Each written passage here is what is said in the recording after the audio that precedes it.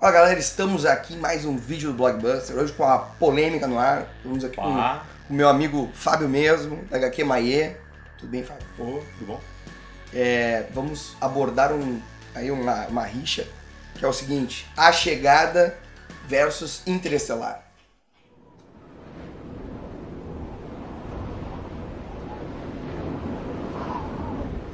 Não, já tem uma rixa só.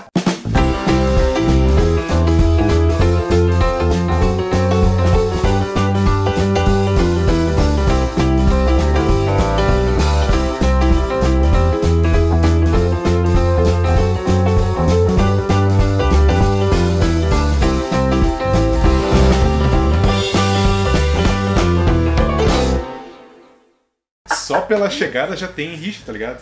Oi? Tem gente que já xinga a chegada sozinho. Por quê? Por nada, por Já, já, já, já por- chega xingando. Porque contato Já é chega. melhor, porque tem muita referência de outros filmes que já fizeram melhor muito antes. Não sei. Vamos lá, primeiramente, é, vamos a- alertar a todos que, que terá spoiler nesse vídeo, né? E eu acho que a gente não precisa fazer sinopse dos dois, né? Não tem porquê, o pessoal já viu, mas basicamente os dois a- É até melhor, até melhor, na verdade, não, não fazer a retomada, porque não toma spoiler quem não conhece, não É, nada. exatamente, exatamente. Quem conhece vai. Fábio, o que, que tu achou de similaridades entre os dois, assim? O que, que a gente pode falar? Além de ah, ser ficção e, e ter teorias de, de tempo, espaço. Acho que eles têm aquela pegada muito familiar, um elemento ali de família, de paternidade, maternidade no outro, Exatamente. que vão, que vão traçando esses paralelos, que vão tendo aquela musiquinha que vai te. aquele clima que vai Uma te coisa- levando até o final. Uma coisa que até o Batman vs Superman poderia entrar junto né, nesse quesito. Tem aquela coisa familiar da Marta Não, ali, não. né? Terrível. Não, eu acho que é o seguinte, é, eu, eu classificaria, a gente até estava conversando antes, mas eu classificaria a chegada talvez como sendo mais popular. Eu acho que talvez uh, uh, Interestelar tentou ser popular, mas, mas explicando bastante, porém com uma, uma linguagem talvez mais. Com temas mais técnicos, assim, mais científicos, eu acho. Mas a chegada eu acho que tem uma linguagem mais popular, assim. Eu acho que, que uh, misturam bem mais assim o sentimental, aquela parte. Não, eu acho que, assim, se tu pegar Interestelar, ele é um pouco truncado. Ele, É. ele te leva a muitos conceitos, tem muitos deslocamentos, muitas passagens de tempo.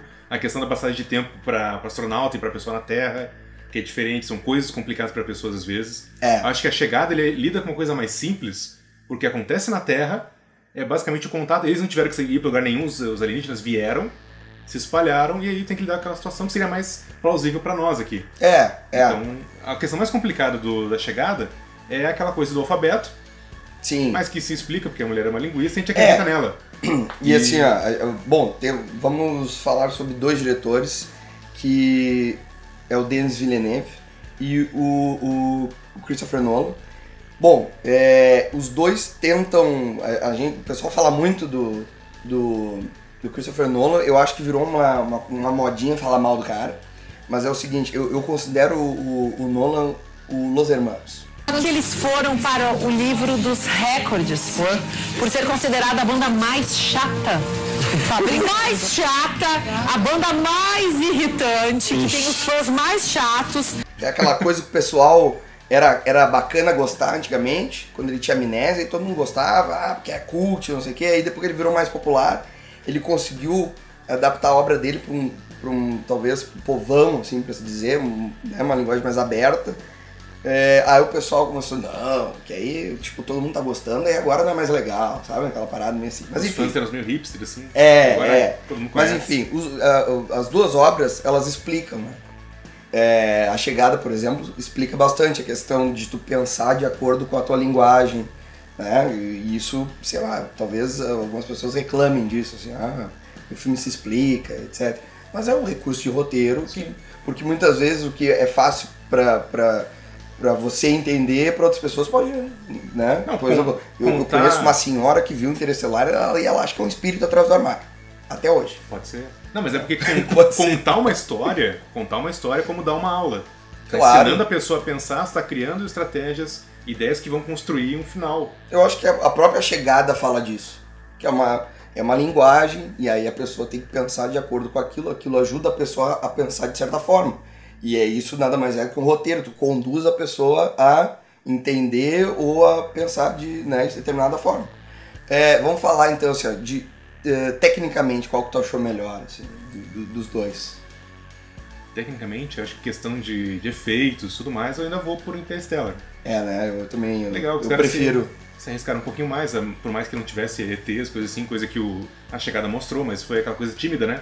Em vez de estar no escuro, agora Mas, tava, mas numa, eu, eu tava gostei, na fumaça. eu gostei porque, eh, querendo ou não, por incrível que pareça, a gente ainda tem aquela coisa de, ao menos eu tenho, de querer ver como, como que vai ser retratado o ET. Sim. Se vai ser aquela coisa de sempre ou se vai ser diferente, co- como que vai ser? Eu, eu fiquei assim, Não, quando mas- começou o filme eu fiquei, ah, eu quero ver, eu quero ver esses, sabe? Eu quero ver esses Não, eu ET. também queria ver, mas o problema dessa coisa, assim, quando aparecem ETs, eles estão pelados, Ah, sim. e, e como é que eles conseguem manipular ferramentas pra construir a nave, pra começar? Aqueles bichos não tem como, eles têm as patonas... É, é pra, pra você que, que não viu, Ah, que tá é. tomando spoiler, ele é quase um polvo, assim. é É, é, um- Sim. é quase um polvo, assim. Um, um molusco, sei lá o que. É um molusco. É, parece... Parece um. Não fica muito claro, assim, no geral, mas... é, é, também outra coisa que, que a gente pode avaliar. Bom, eu também prefiro o Interestelar nesse caso, é, de técnica etc. E roteiro, o que, que tu acha, Fábio? Entre os dois, assim. Não, aí pela história, pela construção, eu tô mais pela chegada. Gostou mais da chegada. né? Chegada, chegada. Eu, eu uh, gosto muito do Interestelar, assim, mas eu acho também que ele é, como tu tinha dito, ele é, ele é muito fragmentado, né? Ele tem diversos subtramas ali. Sim, aquela do Matt Damon perdido lá e querendo É. salvar e tal, pra quê? E, tá. e a mulher depois fica per- per- eh, perdida lá no planeta. É, é, é. E tem diversos subtramas, assim, uma coisa que o Nolan faz às vezes é de deixar o final meio, né, aquela coisa mais... Sabe o que é o melhor do Nolan? Hum, O irmão dele. É verdade. E é um quando, gato. e, e quando ele não atrapalha o irmão dele. É, é verdade. Deixa o Jonathan Nolan escrever o roteiro e só executa o negócio. Bom, é, é, o roteiro é dos dois, né? Sim. No, do filme.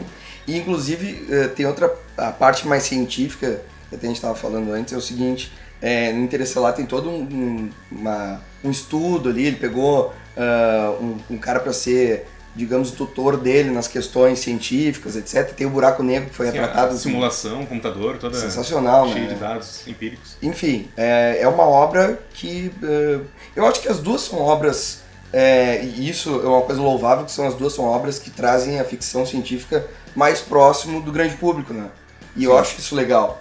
Tem gente que fala, ah, não, nós, é como se os nerds, ah, nós de- a gente detém os direitos da ficção científica e não pode ser povão.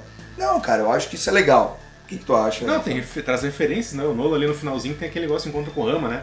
Uma nave É. que, é um, que é um bastão com 360 graus, uma coisa. É, eu, cara, eu, Não, acho que é legal pra isso, pra isso, pra criar esse interesse, pra levantar essa, esse pessoal pra, esse, pra essa área.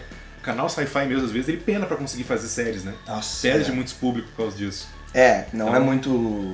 Não é muito popular mesmo. É, né? e os caras que vão trabalhar em NASA, nessas coisas, geralmente são os louquinhos que ficavam vendo esses Sim, seriados, Star. Trek, Jornada nas Estrelas, Guerra nas Estrelas, Battlestar Galáctica, então falta um pouco isso pra gente poder dar uma Qual continuidade. tu prefere? Qual deles?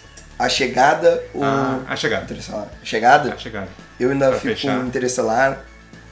Beijo, Nolan. Aqui, ó. Duelo. Beijo, Nolan. Te amo. Devolve meu Batman. Valeu, galera. Então comente aí embaixo, deixe sua opinião, xinga a gente, faz o que, o que quiser, mas deixa aí, ó. Qual que você prefere e por quê? Ou xinga os dois uma vez. É, xinga os dois, xinga todo mundo. Até o Giovanella que não tá no vídeo pode xingar, pode xingar o Clayton, todo mundo. Valeu, galera. Curta, compartilhe e se inscreva no canal. Até a próxima.